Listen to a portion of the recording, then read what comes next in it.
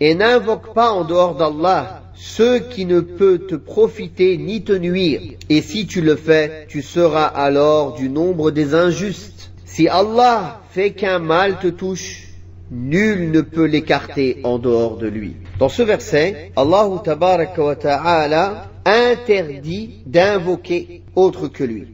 S'il en est ainsi, elle englobe alors toutes les catégories d'invocation, qu'elles soient de demande ou d'adoration. C'est une des raisons pour laquelle le cher a mentionné ce verset. Celui-ci indique l'interdiction faite à quiconque de se diriger vers moindre qu'Allah au moyen de l'invocation de demande ou d'adoration. Cette interdiction revêt d'ailleurs une importance toute particulière du fait qu'elle est adressée au prophète Muhammad sallallahu alayhi wa sallam, qui est le guide des pieux et des monothéistes. Donc dans sa parole, quand Allah ta'ala dit en dehors d'Allah, cela englobe le fait d'invoquer autre qu'Allah en plus de lui, mais aussi en dehors de lui de manière indépendante. Ce qui ne peut ni te profiter ni te nuire. Le terme ce ici englobe les êtres doués de raison comme les anges, les messagers, les prophètes, mais aussi ceux qui en sont dépourvus comme les statues, les arbres et les rochers. Allah Ta'ala dit donc à son prophète Muhammad sallallahu alayhi wa sallam dans la suite du verset, et si tu le fais, c'est-à-dire si tu invoques un quelconque être en dehors d'Allah, cet être